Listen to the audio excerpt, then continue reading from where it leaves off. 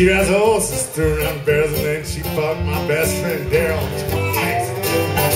And I said, God damn. She says, darn, and Nancy put my brother in the back of the barn that night. Cause she's a country girl. Yeah, she's a country girl. Got her own kind of attitude, dudes about anything to do. Hates every single man in the world. Oh my God, she's a tree girl. All right. Well, out state fairs, we won a belt buckle right after she sucked off my uncle Ty. Then she shaved a heart and the hair from off, and it smells just like Copenhagen snuff. I wonder why. Cause she's a tree girl. Yeah, she's a country girl. Got her own kind of attitude and she does about anything she wants to do.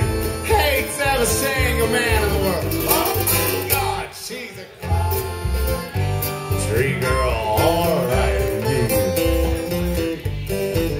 Ladies and gentlemen, I wrote this song for uh, my, one of my heroes, Johnny Cash, J.R. Cash. We could not be here tonight because I don't know if y'all heard he died.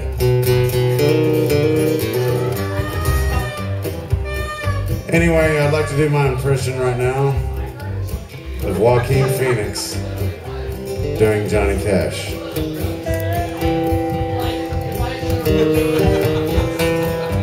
I'm not very good at a harelip just yet. I haven't figured out how to do that. And I, I want to talk to the Academy right now, the Academy Sports and Outdoors. I don't know why Reese Witherspoon is nominated Best Actress and wins Oscar. Joaquin's not even nominated.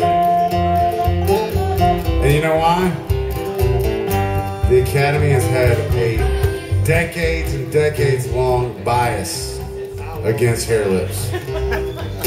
Not one harelip has ever been nominated for Best Actor, and I think that's wrong. All the money you tip, half of it is going to the harelip fund. Why can't we get some actors with hair that's nominated? That's what I'm saying.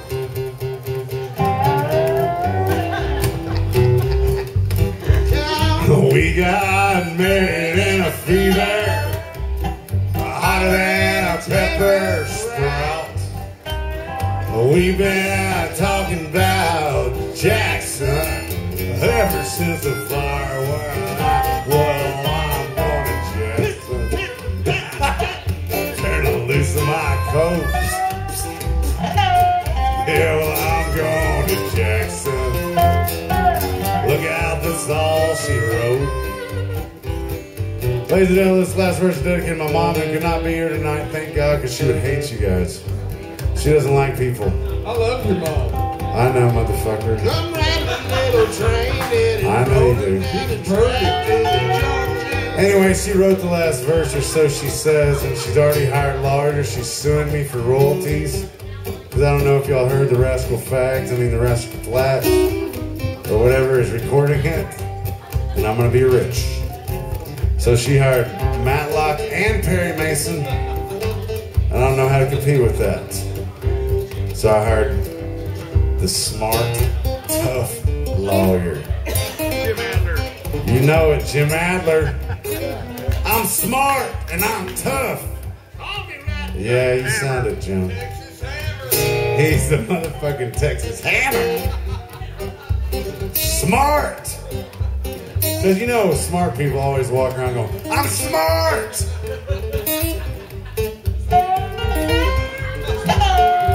Here's you, Mom. I love you. Please make me some oatmeal when I get back home. Rocket jeans, stuffs in the booty, and lot of fun. The cab her to the Beverly. She wears cowboy hats and cowboy boots, likes two up the front and one up the chute. Good grief! Cause she's a country girl. Yeah, she's